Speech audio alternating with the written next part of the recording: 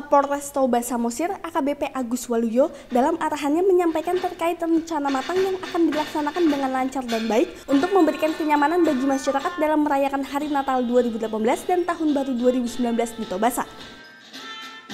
AKBP Agus juga meminta seluruh personil agar melaksanakan pengamanan dengan maksimal dan optimal, termasuk melaksanakan tugas dengan hati yang ikhlas dan tulus. Menurutnya, kegiatan apel ini bertujuan untuk memberikan penjelasan kepada seluruh personil Polri yang terlibat dalam operasi Lilin Toba 2018. Tempatan Ops Toba 2018 ini dalam rangka Hari Natal dan Tahun Baru, Polres Tobasa melaksanakan kegiatan Ops Lilin.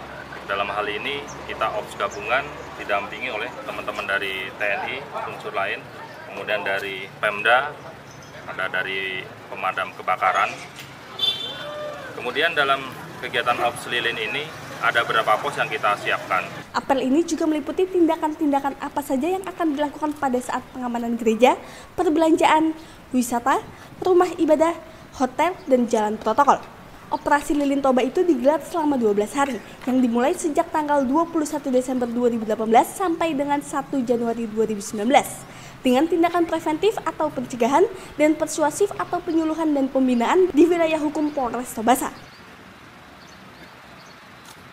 Dari Sumatera Utara, Tim Liputan Tribrata TV, salam Tribrata.